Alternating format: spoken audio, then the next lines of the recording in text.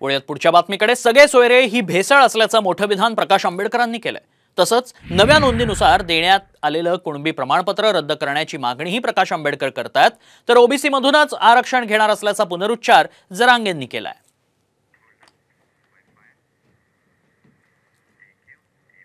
त्यांनी घेतलं नाही असं मी म्हणेन आत्ताच्या ह्याच्यामध्ये. त्यांनी स्वतःहून सोडून दिलेलं आहे. असंही होऊ शकतं. आमचं म्हणणं असं आहे की तुम्ही आत्ता जे काढलेले आहे ते रद्द करा. भेसळ करण्याचा जो भाग चाललेला आहे की सगळे सोयरे सगळे सोयरे भेसळ आहे सगळे सोयरे हे भेसळ आहे. आम्हाला सगळ्या स्वरीची अंमलबजावणी द्यायला लागले. मग तुम्ही त्या आरक्षणाला भेसळऐवजी समजा बोगस म्हणायला लागले. ते जर बोगस आहे तर मग पन्नास टक्क्याच्या वर गेलेलं हेही दोन टक्के त्या निवडा म्हणायला पाहिजे. म्हणजे ते खरंच जनतेची बाजू घेऊन बोलायला लागले.